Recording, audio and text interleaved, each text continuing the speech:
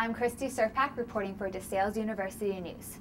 This year is the 40th anniversary of the DeSales Theater Department, and Father Schubert has come out of retirement to direct the play, You Can't Take It With You.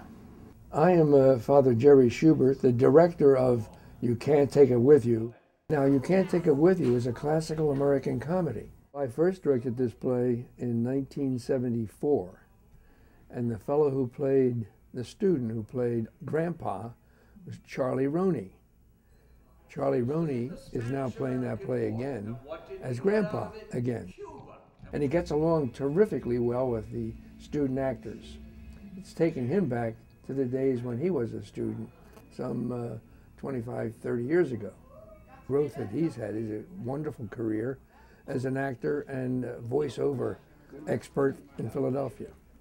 Not only is this a celebration of Father Schubert, the founder of the Performing and Fine Arts Department, but also a realization of how far the Act One Theater Department has developed. The 40th anniversary play, starting the 40th anniversary season. Beginning here, we only had 13 students. We now have over 150 students in the theater program. The program has grown exponentially.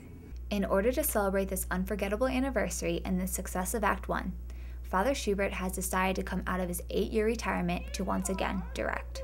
I'm glad I'm doing it. It's an exciting time for everybody working on the play, preparing something for the audience.